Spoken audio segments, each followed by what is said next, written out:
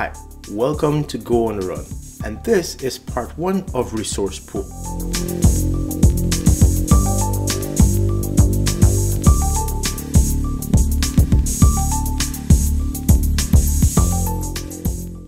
So what is a resource pool? Well, let me put resource pool to the side and talk about two other pools you might have come across. One of them is a connection pool, the other is a thread pool. So let me start with a connection pool. So when you use a database, something like MySQL Server, for example, your application, the client, will need to often connect to that database. And instead of let's say when it makes a connection, the connection is expensive. And so what you want is the application to make a connection. And if it's no longer being used, to get rid of it. And the reason why is because the resources tied to that, if the application just keep allocating and many other parts of the application just keep creating connections to the database and never release them, then you'll use up memory. Not to mention from the database side, it's going to see all these connections coming to it. So and not all of them might be used to be sending requests. So what you tend to have on your client application is something called a connection pool, which is basically a set of connections that are going to be managed as one. And when a part of the application wants to make a connection to the database, instead of that application making an explicit connection to the database, it goes to the pool and it requests an, a, a connection. And then if the pool has one available, it will give it to the part of the application that needs it. And the application can use it. When the application, the part of the application is finished, with the connection, you know, making a query to the database, it returns it to the pool. Now, why is this better than each part of the application just trying to establish a connection to the database and tearing it down? Well, even if you were really good at doing that, the whole setup and tear down might be taking a lot of time. And so now, even though you're really good at not keeping resources around longer than they're needed, you're really spending a lot of time configuring that connection and then tearing it down. By having it, putting the connections in within a pool, the pool can set up a few um, connections. That might take some time too, but because when the parts of the application request one, there's a good chance that the pool, the connection has already been set up. So it simply just takes it and send it request over to the database and get a response back. And then since it's considered itself finished for now, it can tell the pool, you know what, I'm finished with this connection, hold on to it the pool can make intelligent decisions about how many connection it wants to keep active to that database. Now, from the database server point of view, there might be a number of connections that are active, but instead of having, you know, 100 connections active, maybe it might just have 10 or 20. And that's better in terms of number of resources on both the client side and the database side. So that is one way in which you might have come into contact with pools, and that is a connection pool. Another type of pool is a thread pool. So if you come from a language like Java, for example, you might use the executor. And basically what it is, is a thread pool that you can create and you can give it the implementation of a thread. And then you can ask this pool for a thread to run that implementation. The nice thing about thread pools is that they, they work nicely with futures, which is when something take a long time and then you get the result after you call it. So asynchronous type of work. So those two examples shows that how um, places where you might want to use a pool to manage resources because um, it makes a more efficient use of your resources to be able to manage them as a set as opposed to each part when they need a thread or need a connection have to manage that. Now, why would we do a resource pool in any language? You can use a resource pool in C, C++, or even a language like Java where you have garbage collection. And I'm going to show you that a resource pool even makes sense in Go also where there's a garbage collector. And the way I'm going to do this is I'm going to start out by writing a client and server application. And in part one, we'll develop the client. Part two, we'll develop the server. We'll test it and we'll show that without a resource pool, we'll see that all the garbage collector run frequently to allocate and or to clean up um, resources. And by using a thread pool, we can ha have the garbage collector do less work. And that is a good thing. Just imagine you have a garbage collected language and yet your application is able to run in a way in which you you don't call the garbage collector often or the garbage collector doesn't have to run frequently in order to clean up resources. And the way we're going to do this is taking that example again of the connection pool. Imagine that, oh, um, we have a server and clients connect, make requests for the server. They send in some sort of message and the server needs to allocate some memory to represent that request so it can send it off to some Go routine to do some work on it. And then after the Go routine completes and, you know, serve that client, the Go routine either goes away, but certainly the resources that was allocated to represent that request goes away. We're not going to worry so much about whether the Go routine goes away or not. That's not what we're talking about. We're talking here about the resources allocated, the memory allocated to represent that request. And if you could imagine that we might have hundreds or thousands of clients connected, and then they send requests at different rates and so on, we can easily have tens of thousands or even hundreds of thousands of objects that we need to manage over a period of time. Here's the tricky part. Now, because, or let's say our request from a client is something that's very short lived. Client submit a request, the server operates on it, responds to the client, and like I said, after you finish with that client's request, that object representing that request goes away. Now, the client might send another request, and the server has to get another object to represent that request. But each request in itself is very short lived. And that's typically the case with um, RESTful application is you send a request in to post something, create something, look up something. It comes in, the server does it, and then return it. No, of course, there's some requests that take a long time. But for the most part, in your web server, you want to make sure that those requests don't take a long time. Because if the user is sitting on the other end of those requests, the user is going to perceive things that take a long time as being sluggish. So that's why we are saying that all these requests are very short lived, but you can have thousands of them. So enough talking, let me jump into the code. Let's look at the client side. The client side, we want to have a client that submit a few thousand requests to our server. So let's develop that client. So where I am in my project directory, it's um, resource pool. I have part one and two and three, but don't worry about that. Let's focus on part one. And I'm gonna start up my Visual Studio Code editor in this directory. I already done that. And so I have a few exercises for us to go through to try and make this easy for us to build up without me um, having to type it live. And so the first thing I want to do in my exercise one directory is to make importing and so on easy. I created a module in this directory and you don't have to worry too much about it. You just give it any name.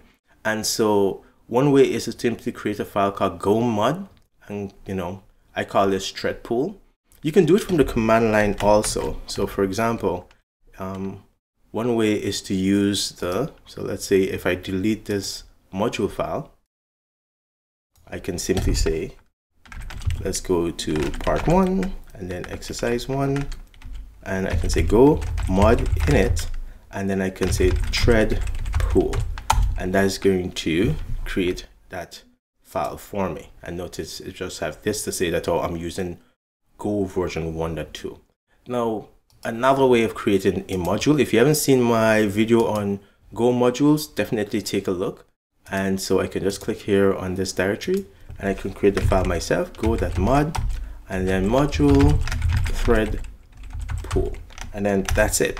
And I have the Go language plugin for my Visual Studio Code editor, and at some point it's going to stick Go version 112 in there for me.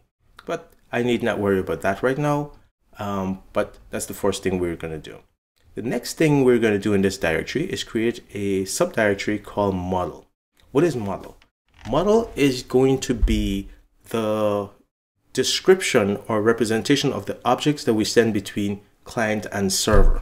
So for now, I just want to focus on the object we're going to use to send to the server. For that, I have a simple struct called client request and it has an ID and we're going to pretend that our client sends several requests to the server and needs to keep track of those ID. Maybe the uh, the requests are sent in order, but maybe the server respond out of order because the server might take a long time to process the first request and maybe the second request is shorter. And so the client needs to keep track of which request um, it's getting the response for. So let's pretend so the, the, the client is going to be the one ordering and said, this is my request one, this is my request two, and the server responds, you know, in some fashion with which request it's responding to. And the client needs to, we will say the contract here is the client would say what type of work it needs perform and whether this is a request to do some addition, figure out the average or something, um, get some random data or some random numbers. Maybe it's to do spell check on the server because spell checking is so expensive on our device that we don't want to do spell checking on the device. We don't have a dictionary, for example. A dictionary, the dictionary would be too big for us to hold on the device. And so we have a server where we have these hundreds of thousands of um, words and we'll do spell checking on the server. So when we want to spell check, we'll just send a word after the user's requested to be spell checked. And we'll say, okay, we spell check this for me and come back either with some suggestion or if this is an error or what. And then maybe I want to do a search. So maybe I just send a search string and to look up some stuff on the server. And maybe if the user if i'm managing files on behalf of the user like they want to see a set of files that match a certain string. And so these are some of the requests or operations i can send. And so that would be um, described here. Now if you don't know what this means it's basically a identifier that comes in a go language it's an identifier not a keyword identifier pretty clear identifier you could see it says cont zero now what the go compiler does is it start with zero as the first value and then it increments these values. So this is going to be zero, one, two, three, four, etc. And this is nice because if I rearrange these, it's going to correctly um, rearrange them and reassign the values. And so that's sort of a little bit better than if I had to, you know, give them numbers myself. This come in really nice when it comes to time, like let's say I want to insert a new value in between here. I don't have to worry about rearranging the entire list. And so if this is confusing to you, you should definitely, or before you use it, you should definitely check out the Go language documentation because um, this operates in a certain way that if you have individual constants instead of putting them in this group, um, each one resets also. So definitely make sure that you read up the Go language documentation on how to use IOTA.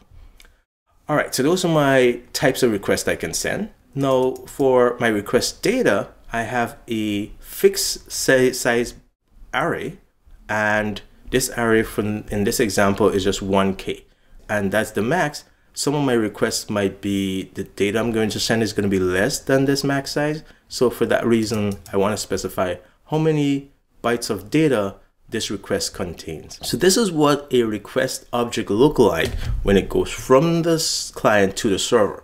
Now, if you haven't seen my video about encoding and decoding in JSON, do check it out. So let's start implementing the client, the client application now, now that we have a model that the client and the server can use. So for this, we want to write a piece of code that's just going to encode and send things over the wire. So let's take a look at exercise two. In exercise two, I still have my Go mod file. I have my, my module file. I have my client the, the model I'm going to use between client and server. And this is a client request. Now we can imagine that how the server will respond. So we can have a, you know, response object, whether you want to call it the client response or just simply response, you know, up to you. But I decided not to focus on that because I'm going to be focused focusing on how the server behave in terms of allocating all these requests. The reason I'm not focusing on the client is because we have many clients. So it doesn't sort of matter like what they're doing. It's a server that we want to optimize. Okay. All right. So let's look at our client. And in our client, I have this submitter.go um, file. And let's start with this function. So before that, let's say we have a client and our client are going to send a certain number of messages. And let's just say that oh, if I run this client, I wanted to send 10,000 messages. So how should I do that? Well, if I my if I start up my client, it hasn't sent any message yet. So the number of messages left to send is really the maximum number of messages. That's how many it hasn't sent it has to send, so there's how many are left. So I initialize message left to be the total number of messages that I should send. Now let me take away some of this code and show you what's going on. So simplify things a bit. Let's say this is what I have. So I sit in this loop and I say, so long as I have message left to send, I'll go allocate a new message. This is the same as if I call new model that client request. Okay, so I'm creating a new client request object and we can see that I've, I've imported that here. Notice for my import statement, because I have a module, it's very easy. I can say in re reference to the relationship to the module, I want to pull in the model package. And so that makes it very, very easy. And so I get a new client request object. I want to keep track of each one of my requests. So I start my request ID. If you remember from our model, we have that each request, each client request is gonna have a, a ID. So I just increment my ID and assign that. Then the request type, well, we can use any one of um, the, sorry, this is a bug. So request size, we are going to use a upper limit of the request size. So if I go back and I take a look at this for my request object, like I said, we're doing one kilobyte for uh, possible request size. So by calling um, random number int n, as you can see, it int n returns as an integer a non-negative pseudo-random number between 0 and you know n less than or equals to 0. So we now have a value that we know is going to vary for each request. And so this is a nice way of doing that. Now what is R? R is the random number generator that we created here and we initialize our random number generator source with the current time. Okay, so this is still a bug because each time we go wrong in this example, we need to subtract, you know, one or decrement this value. So as this is right now, this is not going to work because I need to adjust this to be zero. Okay, so let me undo some of the changes that I had before and put back the code that I had. I'll be sure to fix um, my the bug here. The bug here is that this should be size. This is the size of our data that we're sending. I am not so interested in the type because I'm not doing anything with the type on the server. It's just for illustration purpose, we're assuming. But I sort of want to show that a very amount of data. So I sort of populate that field. Okay. So I'm sitting in a loop and for each request, I print it out to the screen just, just for us to see for now. And what you see here is batch. Now remember, before I had, when I had removed this for a loop, we'll just try and send the messages as quickly as possible. But I want to pretend to be like a real client. And so clients generally don't connect and just send a bunch of requests. What happens is they're sort of like you know, one, two, then 20, and then sort of things like that, right? So what I'll do is so long as I have messages left to send, I want to figure out how many messages I should send per batch. And so I'll sit in the loop and do things per batch. And so what is my batch size? If I hold this over here, its batch size is divide the number of messages by 10, which is 10%, and then multiply by 2. So that gives us 20%. So our batch size is 20%. And because I'm capping that with a pseudo-random number between zero and batch size, now we, we can see that oh, my batch size is not always going to be the max batch size, but it's going to be some number between there. So I'm really capping it to 20%. So between zero and 20% of the maximum, all the messages that we can possibly send. Now, here's the thing. Once I figure out how many messages I'll send in this batch, I need to adjust my number of messages I have left. So that makes sense. Before I wasn't doing this, if you remember when I took this out. So if my batch size come out to be 20, then I have 20 less messages to send if I do send this number. And the only other thing I have to take care of is the situation in which if I send certain messages, certain amount of messages and I go wrong and I come back, let's say I have five messages left, let's say to send. And because my batch size is 20% of the total, which in this case would be 2000 and some random number between 0 and 2000, Well, it's possible that I could come up with a number that's greater than my how many messages I have left. Now, it's not the end of the world. It just simply means that we would have sent more messages than our 10,000. So what we have to check and see is if the batch size is ever more than how many messages we have left, then we simply send how many messages we have left. That's the only caveat. Now you could use the min, min function to figure this out and I always do min of messages left, comma min of batch size. But I think there's no need to write another function. So that's why I do it right here. If this is confusing to you, let me know. I'll try and explain it, but I think it's sort of straightforward. Okay, so now that we have adjusted how many messages we'll send in this batch, we just go into a for loop and send the messages. If you remember, this is what we were doing before. We're just sending the messages. Right now, we're not actually sending to a server. We'll do that in the next part of this exercise. Okay, so because I said before that clients usually don't connect and send all their messages, they're sort of bursty, right? And so for that, when we send a certain batch, when we send a batch of messages or a request to the server, we'll sleep a little bit. Now if I've coded this to be some random number again between you know 0 and 200 milliseconds. You could make it any number you want, um, but um, I didn't want it to be evenly spaced out again. If you were looking at this, clients don't usually just go to sleep for 200 millisecond, wake up, send some a batch of messages. So we have two variables here, how frequently the batches come and how many messages are in a batch. So that makes it sort of look a little bit more realistic. Now this is just the implementation of one client. So we have to run multiple of these clients in order to sort of really see any sort anything interesting on our server. So if we go to our exercise 2 directory uh, so I go to client to mod module model and let's do go build and that built successfully. Go back up and go into our client and let's do go build.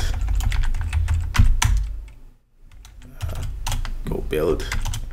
All right so I don't think I had to go build a client actually. I think I wasn't in the right directory just now. Yes. So now we have our client. We can run it. And so you can see um, this is going to go by 10,000 messages. I'll stop it here. And if we scroll up a little bit you will see this is a message 6,400 and something. And we should see a number at the end that tells us how many bytes was in the message so that's the size and if we scroll back we can see this message was 407 bytes.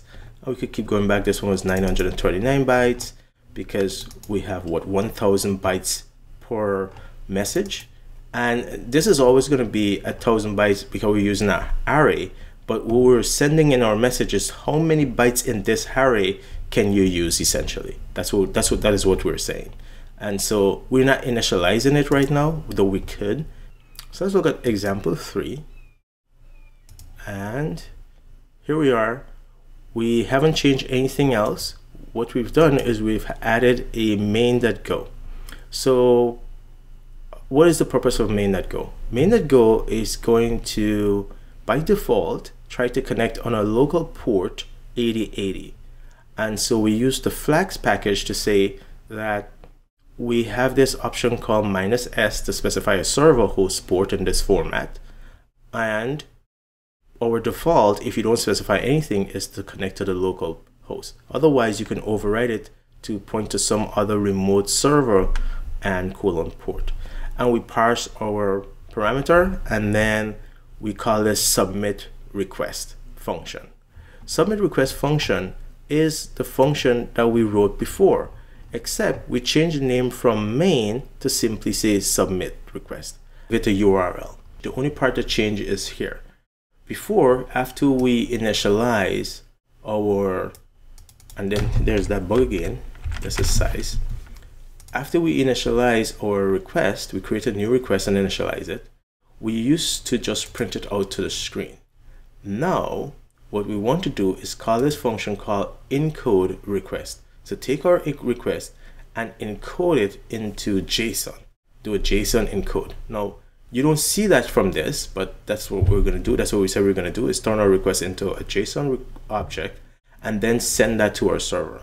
Once I have this as a JSON object, now I can use the HTTP post function, which says submit this to some URL, the content type, and the body, which is a IO reader, which you can read the data. And so that's why our buffer here, or encode request function actually return an IO reader because we can take that IO reader result and pass it directly to our post function. And so that's what we do. So very, very simple. Post returns a response and an error. Since it returns an error, we can check if there's no error, then we should, if you look at the documentation or you read up the documentation for this, it says that the caller should close response that body when done reading. We're not interested in reading the data, so we just immediately do, we could have called response that close immediately, but I do it before so you can do it at the end of this function, just in case later we want to slip in, you know, something that says read the body or the response back from the server. Okay, so that's all we, that's basically the new code that we snuck in here from our previous example. So now let's look at what encode requests look like. Very short function. And the only reason I didn't put this code literally in place here is because I wanted to make it sort of easier to read. And so encode request takes the new request, returns a an object that implements the IO reader interface. For us, it simply means creating a buffer, a bytes buffer, and bytes buffer implements both IO reader and IO writer. So I can pass it here as an IO writer to the new encoder. And when I say encode some data and give it this variable, which is our request, that gets encoded and written to my bytes buffer. When I return my bytes buffer, I'm returning it as an IO reader and hence I can send it to post. Now assuming all of this work, we should be able to, let me uncomment this, and we should see JSON encoded data when we write it out to the screen. So let's run this. Oh, we have to go to, go up one, go to our example three directory, dump to client, and then let's do go build. And oh, so we need a package import here. So go build and let's run our client. And there we go. And as you can see, uh, that's JSON encoded data. There's comma between it now. And it says ID, the field, the record, um, the request ID. This is a request type which we haven't been changing. The data and but notice size shows up as a field name. So this is very different than what we had before. So we're successfully creating a JSON document and now we can send it. Of course, we do not have a server that's listening. So I'm not printing out the error that we are seeing, and that's okay because if we have an error, I don't try to close that document. I sort of don't care right now. I just care that oh, this seems to be working. Once we have a server, we'll see to make sure that our client is actually sending this data to that server, and of course on the server side, we'll decode it. So this is all for the client side, and we don't want the noise. So I'll again remove that. That's just for testing, and if we compile and run again, build and run our client, it's quiet because it's trying to send. Um, of course, it's failing. Okay, so that's about it. I hope this makes sense. Please post question, concerns, criticisms, suggestions, all that sort of stuff. Let me know. Take care. See you. Um, the code is available in GitHub.